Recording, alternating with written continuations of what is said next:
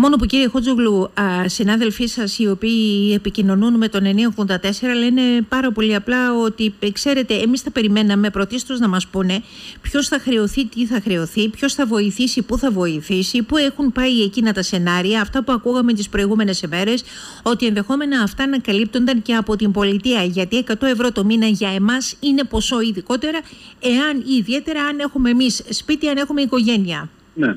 Κοιτάξτε, ε, φαίνεται ότι η κυβέρνηση το έχει χάσει τελείως το θέμα όσο αφορά το επικοινωνιακό κομμάτι του να πείσει τους πολίτες να εμβολιαστούν. Μετά τα 150 ευρώ που έταζε, τώρα μαζεύει κατοστάρια. Και δυστυχώς δεν θα έχει τα αποτελέσματα που αναμένει τέτοιου είδους πρακτικές και τακτικές. Να ξεκαθαρίσω ότι είμαστε υπέρ του εμβολιασμού κατά της υποχρεωτικότητας και του εξαναγκασμού. Αυτό είναι ξεκάθαρο, το έχουμε δηλώσει ε, σε όλους τους τόνους και σε όλους τους αρμόδιους φορείς. Δεν μπορούμε να υποχρεώσουμε κανένα να εμβολιαστεί με το ζόρι. Ε, από εκεί και πέρα υπάρχει το σκεπτικό από την κυβέρνηση, γιατί είχαμε μια επικοινωνία την, την Παρασκευή ε, με τα συναρμόδια Υπουργεία, ότι το κράτος, η πολιτεία παρέχει τρία διαφορετικά ε, εμβόλια δωρεάν στους πολίτες. Αυτός λοιπόν που επιλέγει να μην εμβολιαστεί, να αναλάβει και το κόστος να στηρίξει την επιλογή του. Δεν γίνεται έτσι. Δεν μπορούμε να πάμε πουθενά έτσι. Θα πρέπει η πολιτεία να καταλάβει ότι με τέτοιου είδους πρακτικές δεν θα πετύχει το ποσοστό εμβολιασμού που επιθυμεί.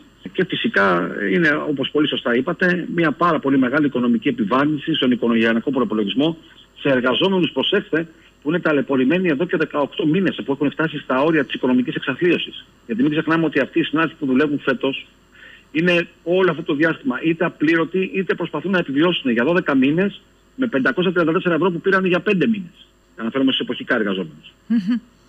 Κύριε Χοτζουγλού, ο καθένας είναι ελεύθερος να πράξει το καλύτερο για το δικό του τον εαυτό και ελεύθερος να αποφασίσει για το τι θέλει να κάνει, να εμβολιαστεί ή να μην εμβολιαστεί. Σας ρωτώ απλά, πάρα πολύ απλά. Είναι ένα μεγάλο μέρος ε, των συναδέλφων σας οι οποίοι είναι κατά του εμβολιασμού συνολικότερα, δηλαδή ανήκουν στο αντιεμβολιαστικό κίνημα γιατί έχει μια άλλη ε, ε, γραμμή μέτρησης, δεν θέλουν να κάνουν κανένα εμβόλιο, είναι μόνο κατά του συγκεκριμένου του εμβολίου, είναι λόγω της έλλειψης ενημέρωσης.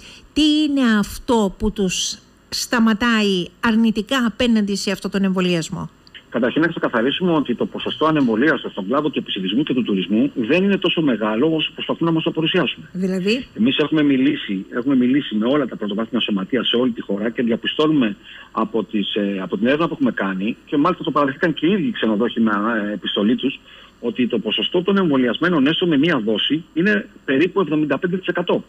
Μάλιστα. Προσέξτε όμως τι γίνεται. Λέω με μία δόση, γιατί δεν είναι να κατά επιλογή τους να εμβολιαστούν με μία δόση. Ε, τι εννοώ. Εμείς είχαμε ζητήσει την προτεραιότητα στον εμβολιασμό για τους εργαζόμενους του κλάδου και του επισητισμού και αν ήταν δυνατόν με το μονοδοσιακό εμβόλιο της Johnson Johnson. Το είχαμε ναι. ζητήσει από τον Μάρτιο ε, αυτό με επίσημο έτοιμά μας. Δυστυχώς δεν εισακουστήκαμε. Άκουγαμε μόνο εξαγγελίες και από τον κύριο Θεοχάρη και από τον κύριο Κικίλια και από τον ίδιο τον Πρωθυπουργό μέσα στη Βουλή. Τι κάνανε λοιπόν αυτοί οι φωστήρες; Ε, ανοίξανε την πλατφόρμα την ηλικιακή για εμβολιασμό 30 με 39 ετών, όπου εκεί βρίσκεται ο κύριος όγκος των εργαζομένων του κλάδου μας. Και εμβολιάσαν τον κόσμο αυτόν μετά τις 15 Μαου με άστρα Ζένεκα. Με αποτέλεσμα η δεύτερη δόση να, να, να, είναι, να είναι για τον Αύγουστο. Εμβολιάζαν mm. τους εργαζόμενους στον κλάδο του, του τουρισμού και του επισητισμού με άστρα Ζένεκα και τους λέγανε η δεύτερη δόση τον Αύγουστο. Επομένως, για ποιο τείχος ανοσίας μιλάμε και πώς να προστατευτεί ο εργαζόμενος. Έπονται όλα αυτά που πολύ σωστά αναφέρατε, η έλλειψη σωστής ενημέρωσης, η προβολή ε, κάποιων αντιβολιαστικών κινημάτων που έχουν αναπτυχθεί στη χώρα μας, και όχι μόνο στη χώρα μας, αλλά σε πολλές χώρες του κόσμου. Και φυσικά στη, στην Κρήτη και σε άλλες περιοχές της χώρας έπαιξε πολύ σημαντικό ρόλο το ατυχές γεγονός που είχαμε με το θάνατο της ε, συμπολίτησά μας λοιπόν, από το κορονοϊό. Είναι λοιπόν ένα μείγμα όλο αυτό, το οποίο ε, η κυβέρνηση πλέον από ό,τι δείχνουν τα αποτελέσματα δεν μπορεί να το διαχειριστεί και είναι κρίμα γιατί έχουμε μια σεζόν μπροστά μας η οποία πάει πάρα πολύ καλά. Πάει πάρα πολύ καλά σε σχέση πάντα με το 2020, ετσι Και δείχνει ότι ο στόχος του 50% των αφήξεων σε σχέση με το 2019 και των 9 δις εσόδων είναι πολύ εφικτός να πετύχει. Είναι κρίμα και αμαρτία να βάζουμε τα χέρια μας και να βγάζουμε τα μάτια μας μόνοι μας και να φέρουμε στις επιλογές της κυβέρνησης και μόνος. Να σας πω, βάζετε παραμέτρους σημαντικές. Πρώτον, ότι επιλέγουν με καθυστέρηση και στην ηλικιακή ομάδα από 35 και πάνω μετά το Μάιο να εμβολιάσουν ξενοδοχοϊπαλλήλους ενώ λένε ότι θα ανοίξουν τον τουρισμό με Αστρατζένεκα. Όταν βλέπουμε ότι έχει τη δυνατότητα μετά και από δύο μήνες να κάνει το εμβόλιο. Δυόμιση μήνες. Δυόμιση μήνες. Είναι το ένα κρατούμενο με τη λάθος διαχείριση.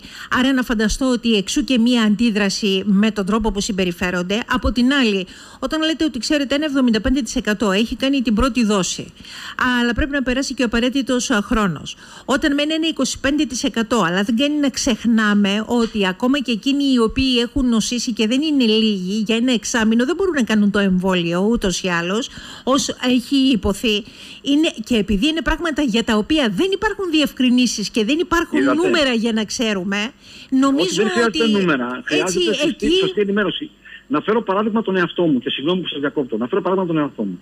Εγώ νόσησα από κορονοϊό τον Απρίλιο και νόσησα πάρα πολύ άσχημα. Χρειάστηκε να νοσηλευτώ στο νοσοκομείο και στο οξυγόνο για 10 μέρες. Για το επόμενο εξάμεινο ε... δεν μπορείτε να κάνετε εμβόλιο.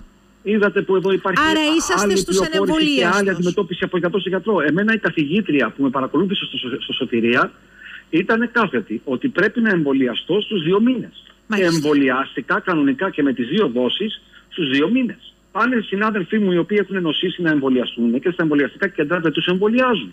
Και κανείς δεν ξέρει τι να κάνει. Όλα αυτά λοιπόν δημιουργούν ένα περιβάλλον ανησυχίας, αβεβαιότητας στους απλούς πολίτες, στους εργαζόμενους, οι οποίοι λένε δεν βαριέσαι. Μα αυτό δεν, δεν έχει να κάνει ωστόσο με το εμβόλιο που θεωρείται ως όπλο. Έχει να κάνει με τη λανθασμένη πληροφόρηση Ακριβώς. που δίνει η κυβέρνηση στο διαχειριστικό το κομμάτι και τίποτα περισσότερο, κύριε Χότσογλου. Ακριβώς, ακριβώς, ακριβώς.